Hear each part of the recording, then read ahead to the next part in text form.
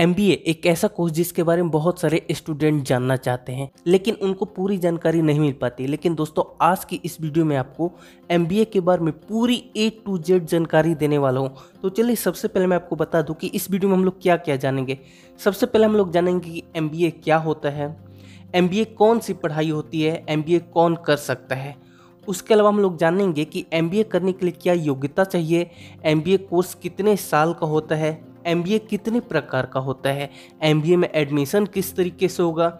MBA करने के लिए आपको कितना पैसा लगेगा? यानी कि फ़ीस कितनी होगी एमबीए कोर्स की? उसके बाद हम लोग जानेंगे कि एमबीए अगर आप कर लेते हो तो आपको जॉब कैसी मिलेगी, आपको कितनी सैलरी मिलेगी और एमबीए करने के क्या फ़ायदे हैं? इसके अलावा और भी कुछ इंपॉर्टेंट पॉइंट्स है जो कि आज की वीडियो में हम लोग डिस्कस करेंगे। तो दोस्तों, अगर आप MBA के बारे में जानना चाहते तो ये वीडियो के लिए बहुत यूज़फुल है और मुझे पूरी उम्मीद है कि अगर आप इस वीडियो को पूरा देख लेते हैं तो दोस्तों आपके सारे डाउट्स दूर हो जाएँगे, कोई और वीडियो आपको देखना नहीं पड़ेगा। मेरा नाम है आयुष और आप देख रहे हैं आयुष रीना यूट्यूब चैनल तो चलिए दोस्तों, बिना टाइम वेस्ट की वीडियो को शुरू करते हैं। अगर आप चैनल पर पहली बार हैं तो वीडियो को लाइक कर दीजिए चैनल को ज़रूर से सब्सक्राइब कर दीजिए। तो चलिए, अब हम अपना वीडियो शुरू करते हैं। सबसे पहले हम लोग जानते हैं कि एम क्या होता है। तो देखो गई आज के टाइम में एम एक बहुत ही ज़्यादा डिमांडिंग कोर्स है। एम का जो फुल फॉर्म होता है master of business administration MBA का जो कोर्स होता है, ये पी कोर्स होता है। कहने का मतलब है कि पोस्ट ग्रेजुएशन कोर्स होता है और इस कोर्स की जो अवधि होती है, दो साल होती है। अगर आप अच्छी तरीके से एमबीए का कोर्स कर लेते हैं तो दोस्तों आपको बहुत अच्छी जॉब मिल सकती है आप फॉरेन कंपनी में भी जॉब कर सकते हैं, आपको सैलरी भी बहुत अच्छी मिलेगी। ये सारी डिटेल आपको इस वीडियो में आगे मैंने बताया तो इसीलिए इस वीडियो को पूरा अंत तक ज़रूर देखिए। तो चलिए, अब हम लोग जान लेते हैं कि एमबीए का कोर्स कौन कर सकता है। दोस्तों, अगर हम लोग एमबीए कोर्स के लिए एलिजिबिलिटी क्राइटेरिया की बात करें तो जैसे मैंने आपको बताई कि एक पीजी कोर्स है तो ज़ाहिर सी बात है कि इसके लिए आपकी ग्रेजुएशन कंप्लीट होनी चाहिए। अब बारी आती है कि ग्रेजुएशन कौन सी स्ट्रीम में कंप्लीट होनी चाहिए। तो देखो, उससे ज़्यादा फ़र्क नहीं पड़ेगा, चाहे आपने बीटेक किया हो, चाहे आपने बीएससी किया हो, आपने बीकॉम किया हो, आपने बीबीए किया हो इनफैक्ट आपने बीए भी किया है, तब भी दोस्तों आप ग्रेजुएशन के बाद एमबीए का कोर्स कर सकते हैं। दोस्तों एमबीए का जो कोर्स होता है, कई तरीके का होता है। Full time MBA distance M one year full time M one year part time MBA online M and MBA integrated course तो आइए अब हम इन सब के बारे में जान लेते हैं कि इन कोर्स में क्या क्या डिफरेंस होता है और किसके लिए कौन सा कोर्स है। तो अगर हम लोग बात कर लेते हैं फुल टाइम MBA की तो दोस्तों फुल टाइम MBA दो वर्ष का डिग्री कोर्स है, जैसे कि मैंने बताया। और जैसा कि आप सभी जानते हैं कि इस कोर्स को करने के लिए आपकी ग्रेजुएशन कंप्लीट होनी चाहिए और ये फुल टाइम MBA है तो दोस्तों इसमें आपको डेली कॉलेज जाना पड़ेगा। अब जो दूसरा टाइप होता है डिस्टेंस MBA दोस्तों, इसके नाम से ही पता चल रहा है कि ये डिस्टेंस है। इसमें आपको डेली क्लास करने की ज़रूरत नहीं है। ये भी आपका दो साल का कोर्स होता है और इसे आप अपने घर बैठे भी कर सकते हैं। अब बारी आते one year full time MBA तो दोस्तों, ये कोर्स एक साल का होता है और इस कोर्स को करने के लिए ज़रूरी है कि आपके पास कुछ वर्क एक्सपीरियंस होना चाहिए, तभी आप इस कोर्स को कर पाएँगे। अब जो नेक्स्ट आता है, executive M B A one year part time M B A दोस्तों, इस कोर्स की जो अवधि होती है, ये 12 से 15 महीने होता है। थोड़ा बहुत वेरी कर सकते हैं, डिपेंड करते हैं कि आप कहाँ से कर रहे हैं। ये ऐसे लोगों को ध्यान में रखकर बनाए गए जो कि बिज़नेस में इंटरेस्टेड हो, जो कि एम की पढ़ाई करना चाहते हो, जिनके पास कुछ वर्क एक्सपीरियंस हो। और इसमें एक और खास बात यह है कि इसकी जो टाइमिंग होती है क्लास की हॉलीडेज पर होती है, फिर वीकेंड पर होती है। जिससे फ़ायदा ये होगा कि अगर कोई वर्किंग पर्सन है, वो भी इस क्लास को अटेंड कर सकता है। उसके बाद बारी आती है ऑनलाइन एमबीए की। तो दोस्तों, इसमें भी आपको नाम से ही क्लियर हो रहा होगा कि ये ऑनलाइन एमबीए होता है। अलग अलग वेबसाइट इस कोर्स को कराती है। इस कोर्स की जो ड्यूरेशन होता है, एक साल से लेकर चार साल तक हो सकता है। डिपेंड करते हैं कि आप कौन सी वेबसाइट से कर रहे हैं और इसकी जो पढ़ाई होती है, पूरी पढ़ाई आप इसको घर पे बैठ के कर सकते हैं। जैसे कि ऑनलाइन है तो आप इस चीज़ को समझ ही सकते हो। नेक्स्ट जो है एम इंटीग्रेटेड कोर्स है। दोस्तों, ये पाँच साल का MBA का कोर्स है। इसे आप क्लास ट्वेल्थ के बाद कर सकते हो। इसमें आपको बेसिकली एम प्लस बी यानी कि एम प्लस बी का कोर्स आपको पाँच साल में कंप्लीट कराया जाएगा। आइए, अब हम लोग जानते हैं कि MBA के कोर्स में एडमिशन कैसे होगा। तो दोस्तों MBA के कोर्स में एडमिशन के कई सारे चरण होते हैं। सबसे पहले तो आपको एंट्रेंस एग्ज़ाम देना पड़ेगा। उसके अलावा दोस्तों, आपकी रिटर्न एबिलिटी टेस्ट होगी, जिसे डब्ल्यू ए टी वैट कहते हैं। उसके बाद दोस्तों आपका ग्रुप डिस्कशन होगा, उसके बाद आपका पर्सनल इंटरव्यू होगा। एक चीज़ और आपको बताना चाहूँगा, बहुत सारे कॉलेज ऐसे हैं जिसमें सिर्फ़ एंट्रेंस एग्ज़ाम होता है और बहुत सारे कॉलेज ऐसे हैं जिसमें एंट्रेंस एग्ज़ाम के अलावा आपकी रिटर्न टेस्ट होते हैं और पर्सनल इंटरव्यू होते हैं ग्रुप डिस्कशन नहीं होता है। तो ये थोड़ा बहुत चेंज हो सकता है कॉलेज के ऊपर इंस्टीट्यूट के ऊपर, क्योंकि बहुत सारे प्राइवेट कॉलेज भी होते हैं प्राइवेट इंस्टीट्यूट भी होती है तो उनका जो नियम है रूल्स जो है, थोड़े से अलग होते हैं। अगर हम लोग इंट्रेंस एग्ज़ाम की बात कर ले तो दोस्तों बहुत सारे इंट्रेंस एग्ज़ाम होते हैं, जो कि CAT MAT GMAT XAT I F T इस तरीके की बहुत सारे अलग अलग इंट्रेंस एग्ज़ाम होते हैं। लेकिन अगर आपको इन सभी इंट्रेंस एग्ज़ाम इतने सारे इंट्रेंस एग्ज़ाम नहीं है तो दोस्तों आपके लिए दो इंट्रेंस एग्ज़ाम सबसे ज़्यादा इंपॉर्टेंट है, एक कैट का और एक होते जी मैट का। कैट और जी मैट ज़्यादा इंपॉर्टेंट इसीलिए है क्योंकि इसमें अगर आपकी रैंकिंग अच्छी आती है तो दोस्तों अच्छे अच्छे कॉलेज में आपका एडमिशन हो जाएगा।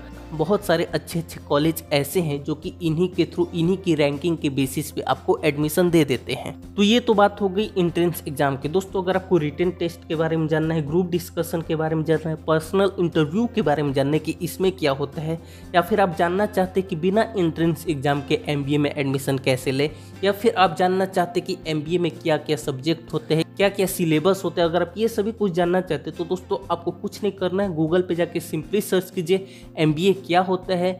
नीचे स्क्रॉल डाउन करेंगे तो आपको ये वाला जो आर्टिकल दिख रहा है, आप हेडिंग अच्छे से देख लीजिए। यहाँ पे URL देख लीजिए how to become in India ये फ़ोटो देख लीजिए। इसी पे आपको क्लिक ये आर्टिकल हमने ही लिखी है, इसमें आपको पूरी डिटेल समझ में आ जाएगी। मैं वीडियो में बताऊँगा तो वीडियो बहुत ज़्यादा लेंदी हो जाएगी और शायद आपको सही से समझ भी ना आए। इसीलिए आप गूगल पे जाके इन सभी के बारे में पूरी डिटेल पढ़ सकते हैं, आपको सब कुछ समझ में आ जाएगा। तो चलिए अब हम लोग आगे बढ़ते हैं। अब हम लोग जानते हैं कि एमबीए की फ़ीस कितनी होती है, यानी कि एमबीए करने में कितना पैसा लगता है। तो दोस्तों, अगर हम लोग फ़ीस की बात करें तो इसकी फ़ीस काफ़ी ज़्यादा वेरी करती है। डिपेंड करता है कि आप किस इंस्टीट्यूट से एमबीए का कोर्स कर रहे हो। एमबीए की जो फ़ीस होती है, दो लाख से लेकर बीस लाख रुपए तक हो सकती है। अगर आप आईआईएम अहमदाबाद से एमबीए का कोर्स करें तो दोस्तों, इसकी फ़ीस काफ़ी ज़्यादा इनफैक्ट सबसे ज़्यादा है इसकी फ़ीस करीब अट्ठारह से बीस लाख रुपये आपकी हो जाती है। लेकिन अगर हम लोग वहीं पे नॉर्मल कॉलेज की बात करें तो दो से चार लाख में आपका एमबीए का कोर्स हो जाएगा। अगर हम लोग वहीं पे गवर्नमेंट कॉलेज की बात करें तो इसकी जो फ़ीस होती है, एक से डेढ़ लाख रुपए होती है। जैसा कि मैंने आपको बताया कि फ़ीस काफ़ी ज़्यादा वेरी कर सकती है, और ये जो फ़ीस है, अभी के अकॉर्डिंग है फ्यूचर में और ज़्यादा भी हो सकता है। तो आइए अब हम लोग जान लेते हैं कि अगर आप एमबीए का कोर्स कर लेते तो इसके बाद आप क्या करेंगे? तो देखो गई अगर आप एमबीए का कोर्स कर लेते हैं तो इसके बाद आपके पास तीन ऑप्शन हैं। आप आगे जाके और पढ़ाई कर सकते हैं। आप जॉब कर सकते हैं या फिर आप खुद का बिज़नेस कर सकते हैं। तो चलिए, अब हम लोग जानते हैं कि अगर आप जॉब करते हैं तो एमबीए के बाद आपको कितनी सैलरी मिलेगी। तो देखो गई आपको मैं एक चीज़ बताना चाहूँगा कि आपको एमबीए के बाद कितनी सैलरी मिलेगी, ये काफ़ी हद तक डिपेंड करता है कि आपने कहाँ से एमबीए का कोर्स किया है। और उससे भी ज़्यादा इंपॉर्टेंट चीज़ ये है कि आपको कितना नॉलेज है। आपको कितनी समझ है, आपको कितना एक्सपीरियंस है, इन सभी पे आपकी सैलरी डिपेंड करेगी। लेकिन फिर भी अगर हम लोग एक एवरेज सैलरी की बात कर ले तो अगर आप एचआर मैनेजर हैं तो दोस्तों आपकी जो सैलरी है सात से आठ लाख रुपए होगी पर एनम यानी कि पर ईयर अगर आप मार्केटिंग मैनेजर हैं तो आपकी सैलरी आठ से नौ लाख रुपए होगी। अगर आप ऑपरेशन मैनेजर है तो दोस्तों आपकी सैलरी सात से आठ लाख होगी। और अगर आप सीनियर बिज़नेस एनालिस्ट है तो दोस्तों, आपकी सैलरी दस लाख हो सकती है। इनफैक्ट इससे और भी ज़्यादा हो सकती है, जैसे कि मैंने बताया कि सब कुछ डिपेंड करता है आपके एक्सपीरियंस के ऊपर, आप कितने अच्छी तरीके से काम को करते हैं और आप किस कंपनी में जॉब कर रही हैं। इन सभी चीज़ों पर आपकी सैलरी डिपेंड करती है। अब हम लोग जान लेते हैं कि एमबीए करने का क्या फ़ायदा है। तो देखो गई एम आज के टाइम में बहुत ज़्यादा डिमांडिंग कोर्स है। अगर आप एमबीए का कोर्स सही तरीके से कर लेते हो तो दोस्तों, आपकी समझो कि लाइफ पूरी तरीके से सेट हो जाएगी। एमबीए का कोर्स अगर आप करते हो तो मैनेजमेंट के फ़ील्ड में आपके पास अथा संभावनाएँ हैं। कहने का मतलब है कि बहुत सारी अपॉर्चुनिटीज़ आपके पास है। अगर आप एमबीए का कोर्स कर लेते हो तो दोस्तों आपको एमएनसी कंपनी यानी कि बहुत बड़ी बड़ी कंपनी में जॉब करने का मौका मिलेगा। जिसमें आपको बहुत अच्छी सैलरी मिलेगी, कंपनी की तरफ़ से बहुत सारी सुविधाएँ आपको मिलेगी, आपका एक स्टेटस अच्छा हो जाएगा। इसके अलावा दोस्तों, आप एमबीए का कोर्स करते हो तो आप में स्किल्स बहुत सारी इंप्रूव हो जाएगी। जैसे आप में मैनेजमेंट स्किल्स इंप्रूव हो जाएगी, आप में लीडरशिप क्वालिटी आ जाएगी। इसके अलावा बहुत सारे ऐसे फ़ायदे हैं एमबीए करने के। जो कि आप एमबीए का कोर्स करने के बाद पा सकते हो। लेकिन हाँ मैं फिर से रिपीट करता हूँ, अच्छी जगह से कीजिएगा और अच्छी तरीके से कीजिएगा, तभी आपको इसका फ़ायदा मिलेगा। इसके अलावा दोस्तों, और भी बहुत सारे इसके फ़ायदे हैं और बहुत सारे इसमें आपके पास करियर ऑप्शन अगर आप जानना चाहते हैं कि एमबीए के बेस्ट प्राइवेट कॉलेज कौन से हैं, अगर आप जानना चाहते हो कि एमबीए के बेस्ट गवर्नमेंट कॉलेज कौन से हैं तो मैंने अपने आर्टिकल में पूरी लंबी लिस्ट लिखी है, पंद्रह पंद्रह, बीस बीस कॉलेज की लिस्ट आपको बताई है। गवर्नमेंट कॉलेज में प्राइवेट कॉलेज में और पूरा एडमिशन प्रोसेस बताया है, बिना एंट्रेंस एग्ज़ाम के आप कैसे एडमिशन ले सकते हो? वो सब कुछ बताया क्या सिलेबस होता है, क्या पढ़ना होता है, ये सब कुछ बताया है सब कुछ डिटेल में लिखा है मैंने अपनी वेबसाइट पे।